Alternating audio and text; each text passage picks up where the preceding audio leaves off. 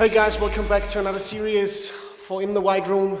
Jacob is already preparing in the back of me the camera, but today location scouting is on.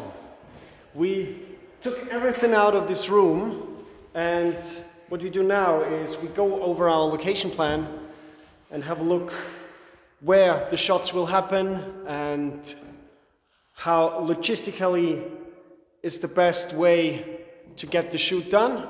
Let's get started.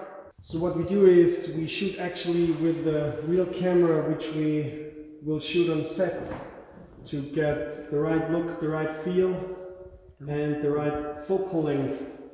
This room is actually very bright in certain parts and very dark in uh, other parts.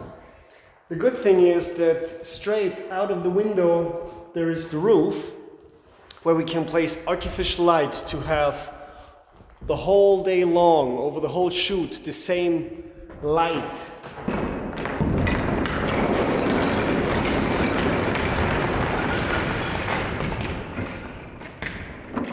Storyboarding time is on again and for this new project we have to follow a climber through his daily day routine.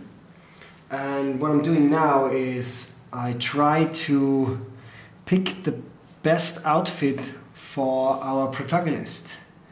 So I guess shorts and yeah, this climbing shirt looks actually perfect. And now we do a random smile. We just put on a random smile and hair. Oh, this is too old, I reckon. But actually this one here looks perfect. Because in real life, the guy is as well like brown, brown, blonde brown. So in the script there is a scene which um, our climber is the other way around when he's making himself a coffee. So actually this is a perfect coffee cup. I'm gonna take this one and we take the milk cup. Let's have a look where the milk cup is. So he puts milk into his coffee. So let's have a look if we find a better expression for that. Alright, so we found the right one. Let's put everything together. Gonna quickly check the lighting. The lighting, where the light will be and how it will look. There we go. This is the right angle, I guess, what I what I intended. Get the focus and take a photo. Here we go. And then we got this photo with the green screen in the back.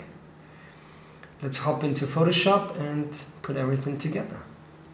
So in Photoshop in here, we put our back plate, the background in from our location scouting.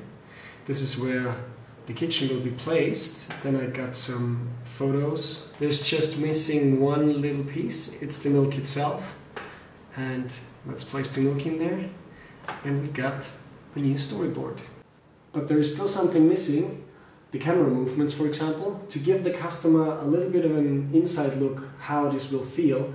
Uh, what I'm going to do is I put some arrows in there and I will uh, place the storyboard um, after one another and I'm going to show you that in a minute. The shot will start the other way around.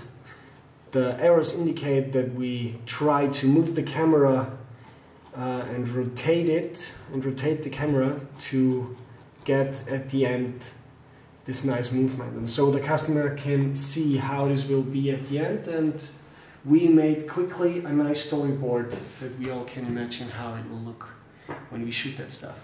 Thanks for watching and stay tuned for another episode of In the Whiteroom.